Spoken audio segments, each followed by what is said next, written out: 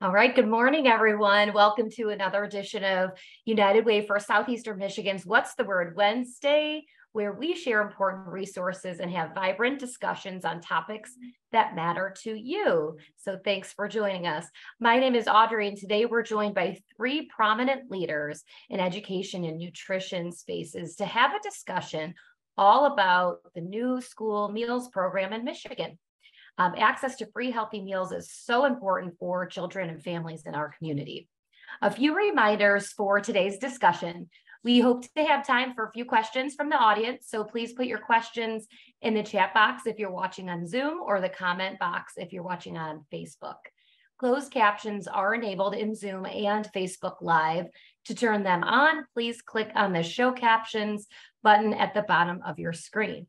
And now I'd like to introduce you to our panelists for today. We have Natalee Mickelson. She is a school district consultant with the Office of Health and Nutrition Services at the Michigan Department of Education. She has been with the department six years and currently works with student eligibility for school meals. Natalee specializes in working with schools operating the Community Eligibility Provision, a federal program that allows eligible schools to serve free breakfast and lunch to all students. Caitlyn Wood is a contractor with the Office of Health and Nutrition Services at the Michigan Department of Education. She has been with the department as a contractor and full-time employee for eight years and currently works with the implementation and operation of the Michigan School Meals Program. Caitlyn also works with schools directly through No Kid Hungry, a national campaign committed to ending childhood hunger in the US and specializes in overall school nutrition program operation. And finally, we have uh, Katie McConkie has been the director of uh, nutrition services for Lamphere schools for the last 25 years. She was named director of the year for the state of Michigan and regional director of the year in the Mideast region in 2010. And she's been contracted to other districts to help them turn their bottom line around. She has a degree in culinary arts from Oakland Community College, where she earned a bronze and sil silver medal in the Detroit Culinary Arts competition. So welcome all. Thank you so much for being here with us today to share information about the new Michigan Schools meal program. So Natalee and Caitlyn, uh, why don't you get us started? Thank you, Audrey, and everyone participating in this webinar today. My name is Caitlyn Wood, and I'm going to begin with a quick overview of the Michigan School Meals Program. The Michigan Department of Education is excited to share that the Michigan School Meals Program will be available for the 2023-2024 school year. Michigan School Meals provides an additional state reimbursement for breakfast and lunches served to public school students grades pre-K to 12. Hungry students lose focus and concentration in class. I think we can all agree to that and, and know that that is true. And this new legislation allows all students to eat breakfast and lunch for free for the entire school year. Every eligible school district is encouraged to opt into the Michigan School Meals Program for this school year to provide free meals to all students. It also helps in eliminating the negative stigma still attached to receiving free meals at school. And it shows the students attending public schools in Michigan how important their health, wellness, and education is. The Michigan School Meals Program requires a school district to make both breakfast and lunch available to all students. A school district may also participate in the after school snack and or supper programs. However, those meals are not included in the Michigan School Meals free meal program. The, the Michigan School Meals program is specifically for breakfast and lunch that is served during the school day. MDE created a Michigan School Meals website, which includes a frequently asked questions document specifically for parents, guardians, household, community members to help explain this new state program. And before moving on to the different forms that school districts must collect from households and why those are so important, which is what Natalee is going to cover, I wanted to mention that the school meals program is a federal program And this new legislation of universal free meals is a state of Michigan program. So a school district must still comply with both the federal and the state regulations. So as a household, you might wonder why you're being asked to submit a school meals application when all meals are free. And that's because the district has to still follow those federal program rules. And Natalee will now go over the different application and forms that, that the state of Michigan has and why those are so important. Thank you, Caitlyn. So as Caitlyn just said, I'm going to talk about the importance of collecting school meals applications and education benefits form or as a family, the importance of completing these, even though school meals are free this year. So education benefits, what are they for? So schools and households in Michigan rely on education benefits to receive additional services throughout the school year, which is why every household is still being asked to complete documentation to receive education benefits. The information collected is used to provide additional services and benefits beyond just school meals, like resources for classrooms, teachers and children, guidance counselors and college counselors, and health and wellness services. Families should contact their local school for the correct form and more information if you haven't already seen that online or been communicated how, how and what to fill out. There may also be individual household benefits, such as discounts on internet and phone bills based on student benefit.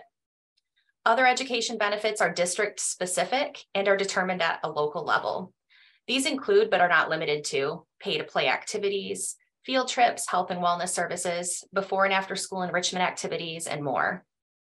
The Michigan Department of Education has created a few templates to help communicate the importance of completing applications or forms in a timely manner. But the exact language used in these templates, letters, social media posts, or flyers should be modified by each district specific to your current policies and practices. We're next going to take a look at the application and the form, the two versions of documentation that are out there that you might be asked to complete, or you might be distribu distributing to your school district. The first one, um, here's a small picture of it. It's the application for summer EBT and education benefits. And this is required for schools or districts that claim meals based on free reduced price and paid benefits. So even though all meals are free, student benefits are still needed. Um, as Caitlyn mentioned, there's still federal programs running behind the scenes. So this um, eligibility determination is used to claim for federal reimbursement. Um, the application has in past years been called the school meals application, the free and reduced price school meals application. It has the same look and feel, but it has had different names. So still completed, even though it might be called something different. So who should use this? Again, any school that claims meals based on free, reduced, or paid status is going to distribute their, this form to their families. If you're in a partial CEP district and you have students that attend both the CEP and a non-CEP building, you only need to complete this application, the application for summer EBT and education benefits. You don't need to complete this and the form that's on the next page. So where can I find this online? If you are a school district, um, or a school, the Michigan School Meals Program website has the application as well as resources such as letters to households, social media posts, and don't scrap the app flyer to help communicate the importance of completing the application to your families. If you're a parent, look for flyers and communication from your school for how to complete an application, whether it's online or a paper application that maybe was sent home already or is going to be coming in this back to school cluster of paperwork. Um, there's multiple ways to complete it. If you haven't seen anything yet or aren't in these first day of school, first days of school, um, contact your child's school to find out what the process is. Um, these are distributed and collected after July 1st every year. So some districts get those out and available online right after July 1st so families can get ahead um, and not be bombarded with so much paperwork on the first day.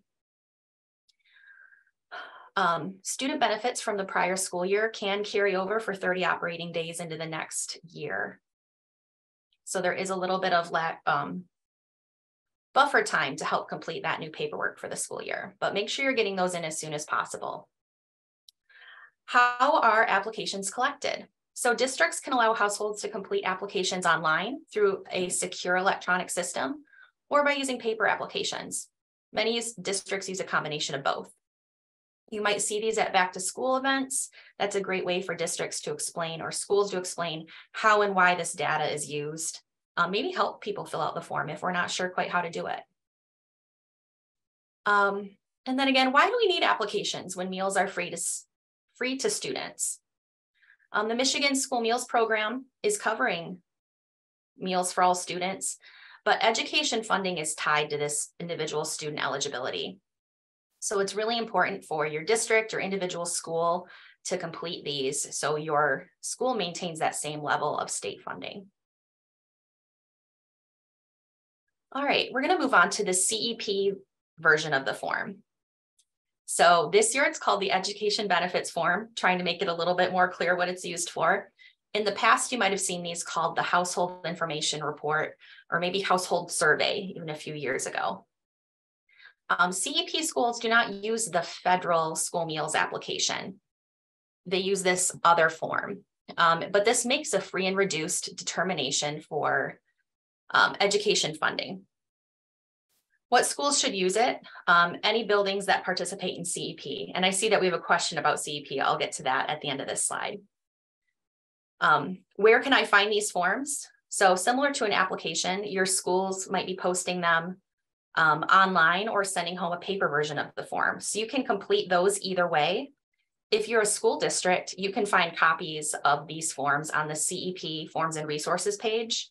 The Michigan School Meals Program page, um, again, has letters to households, social media posts, and flyers to help explain why we're asking for this information.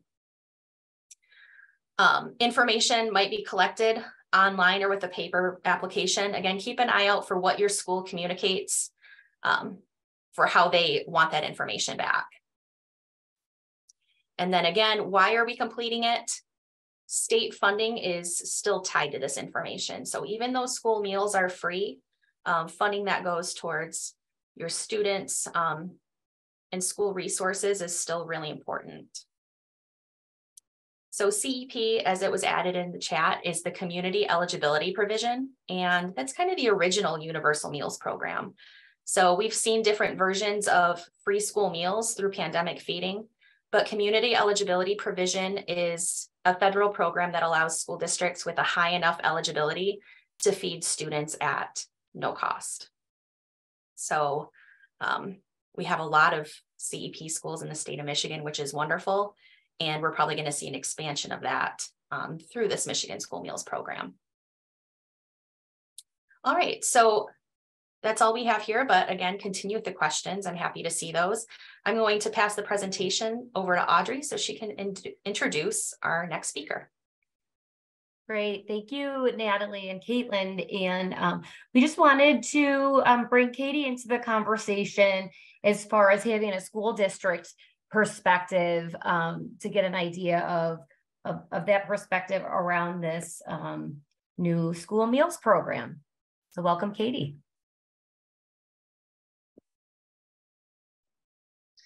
Thank you. Um, so I just wanted to um, give my perspective of how we collect the data, um, or in my case, because I am CEP, is um, the edu um, educational benefit form.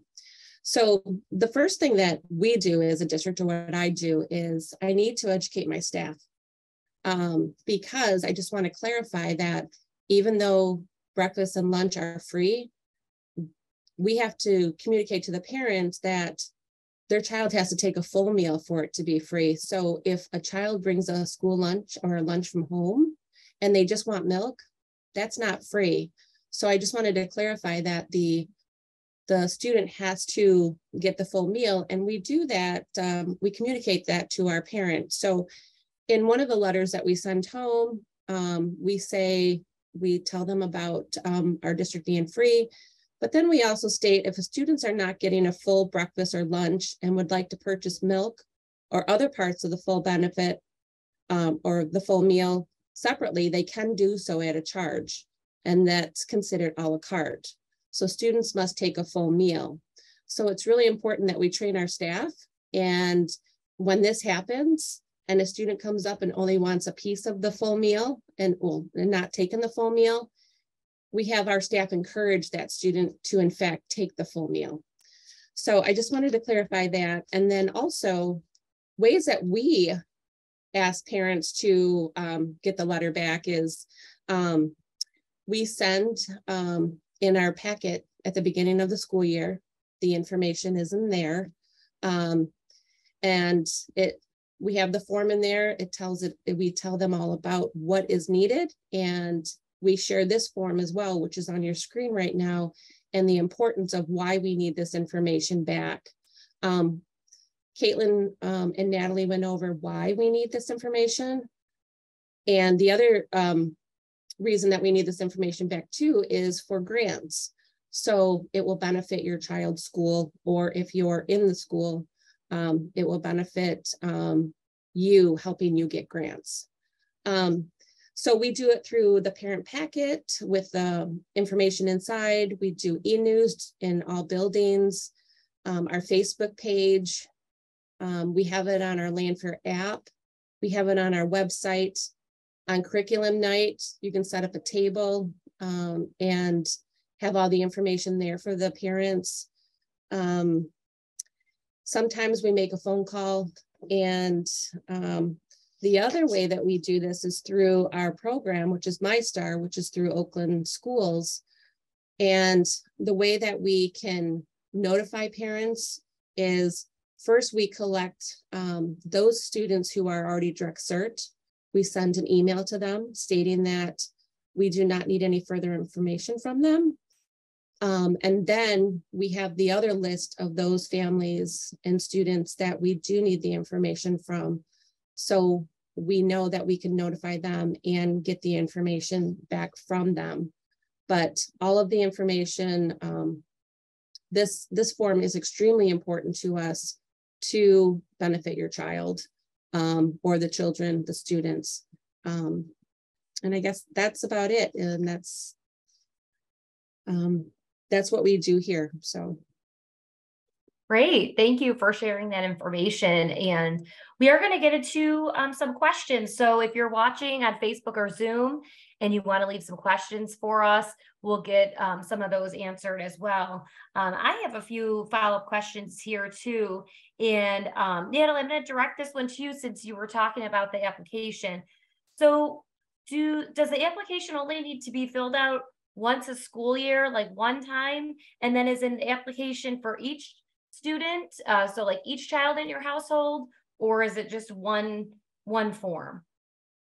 It's a great question. So applications or forms only need to only need to be completed once every school year, um, but we do need a new form every year. So if you completed one last year, we are asking you to complete one again. If all of your students are in the same school district, you just need to complete one application or form. But if you have students um, split across multiple districts, you should complete one for each of those school districts to make sure each of those um, schools or districts know that eligibility. Is that if they're in the same school or a different school too, but same district? Um, if they're in the same school, same district, you just need one. Okay. Okay, that's helpful all that information is um, shared the same way and makes its way over to directors like Katie uh, to process that. And is there a specific deadline for the form? Since I know a lot of this is going out at the beginning of the school year, is there a point in time where someone has to sign up for it, or if they didn't, if they didn't turn in a form and then decide they need to turn in a form, what does that process look like? The sooner the better, really, to get those in districts are, you know, sending out forms and letting families know how to apply right now. However, if there were to be a change in your income throughout the school year, um, maybe both parents are employed right now, but something changed mid-year, you can reapply at any point if there's a change for your household. Um, you might not have qualified for benefits at the start of the school year, but you do later. So getting those paid to play or reduced testing benefits within your district could be really helpful. So apply if there's a change in your circumstances, even if right now you don't feel there's a need.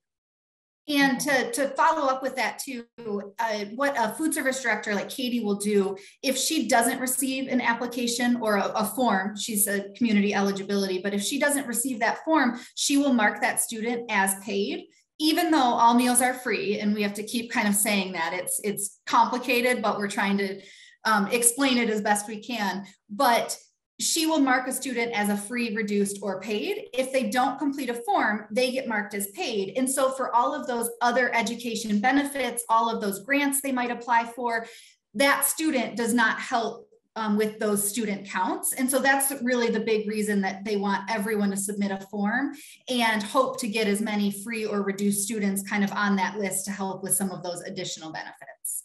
Okay, so just to clarify as a follow up, does everyone have to fill out a form?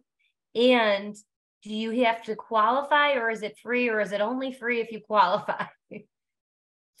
So not everyone has to fill out a form. Okay. Um, the school district does not require everyone to fill out a form. If you do not want to fill out a form, that is okay. That's acceptable. Um, but that then that household is marked as paid as not qualifying for the free or reduced. And it's really those free and reduced student numbers that help with all of those additional education benefits or federal and state funding and all of that. So that's why a district like Katie will work really hard to try to collect as many as possible. And I think this also goes to follow up, Katie. I was thinking about if, you know, a parent maybe he has a conversation or thinks about like, oh, I don't think we need it, or I don't think we use it, we'll use it. You know, how would they be able to determine that? I guess that goes along with that that question and that I asked about if they realize at a later date, okay, this is something we will use or need. How have you navigated some of those conversations? So if a family is not sure if they're going to qualify or not, um, just fill out the application and um, maybe they might qualify. And help us out a little bit. Um, um, so I would just say, fill it out. Um, we will process it. We will notify you um, of your category, um, whether you're free, reduced, or full pay. Um, and I've received applications as late as a week before the end of school. Um, that's when a lot of seniors are realizing that you know they um, are applying for colleges and they don't have a application on file. And so sometimes at the last minute we we are processing applications but we do try our hardest to have a huge campaign at the very beginning. Get um, the word out that we do would like the application in. We try to get it by october um, before the october counts so um, we just highly encourage all of our families to fill out that form because it could help out not only the district, but also their children at the same time. So the form helps with funding for many things at the school in the district. Absolutely. But the but the meals are they free for all students? Mm-hmm. Okay. They are free for all students and that's why like you said some parents would say well why do I have to fill out that application if my child's getting free breakfast and lunch already. And that's where my job comes in to educate them on the reasons why we need that information back. And so that's why we do our campaign. That's why we reach out, um, even if it's, you know, um, a phone call or mm-hmm. um, going on curriculum night um, and all of the avenues and the platforms and the resources that we have we work very hard to get that word out to the parents on the reasons why. And once they find out that it's going to benefit maybe their child's school or mm-hmm. their child themselves, you know, with applying for college, um, we don't have a problem with them um, applying. Some years in the past, we've had um, a, a, a raffle, and those that applied um, they got put in the raffle and we gave away prizes. So there's, um, you know, sometimes you have to be creative on getting um, those applications back to us. Yeah, definitely. So the applications and getting the information is to get additional funding for the school. And the meals are free to all students. Is this every school district in southeastern Michigan? In Michigan? So it is public school districts pre-K through 12. So Okay. you might have a younger tuition-based preschool child. That may not be included in this. It's um, students that are going to be entering preschool. So if they're in GSRP, um, the Great Start Readiness Program, which is another s- state-funded preschool. So preschool through grade 12, if your school district participates in the National School Lunch Program and is a public school. So non-public schools are not eligible to participate in Michigan school meals. And again, some of those younger uh, tuition-based preschool programs or childcare programs that might be in a school. So you, because they're in a school building, you might think they're a part of this, but it's school-aged children. And that also goes along, um, community-based organizations that operate those childcare programs. Again, Natalee said they might be located in a school, but they are run by a community organization. Those students also don't qualify for this, so it's the public school um, students. Mhm. All right, that's very helpful information too. And um, just as we are kind of wrapping up today, I would just like for each of you just to share um, what's the most important thing you think people joining us today should know about the new school meals program? And we can start with Katie. Um, I, first of all, I think it's, it's a wonderful thing that, um, you know, what's happening out there with free breakfast and free lunch. Um, I think that, um, you know, we think about uh, food so that, um, for our students, so that they don't have to think about food and they can concentrate on their ac- academics. Um, huge advocate for, for this program, but, and then I highly encourage, you know, parents to fill out the form because it is so important to the school district. And if they need any information to contract, to contact their, their um, school food service director. Right? I can go next. Mhm.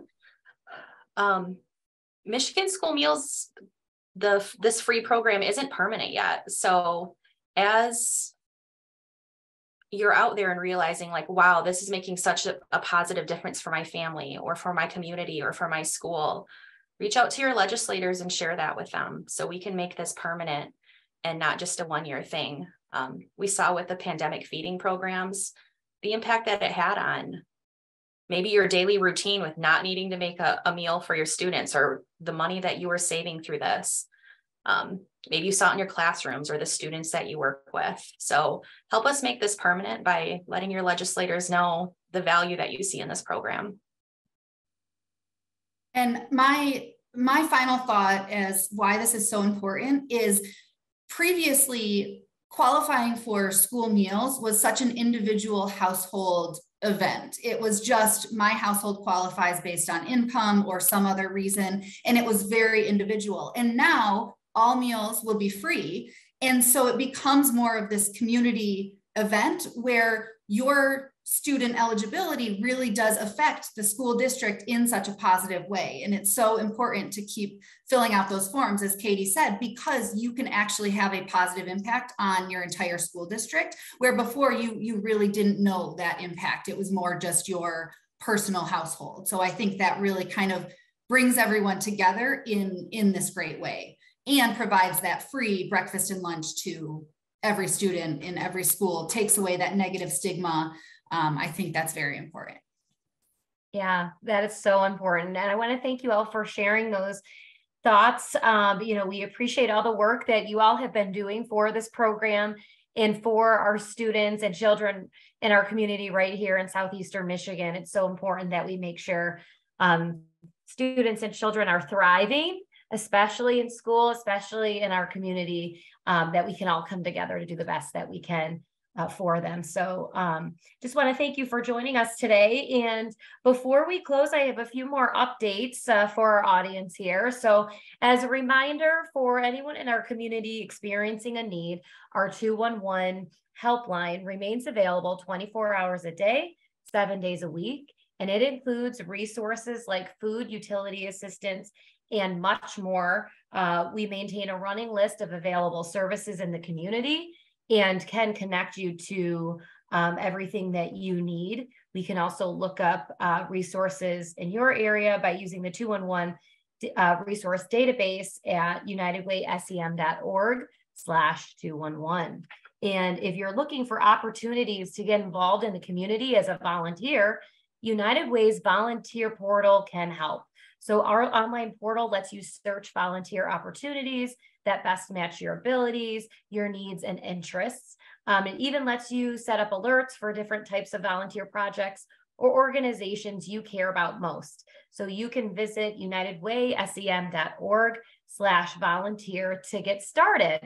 Um, we'd love to see you out in the community. And our next town hall, so our next What's the Word Wednesday will return in September. So please keep an eye out on our social media um, and emails for our next one. You can stay um, updated on upcoming topics and watch replays of previous town halls. You can visit unitedwaysem.org slash virtual town halls. So I thank you all for joining us today and to our production team for making this town hall happen.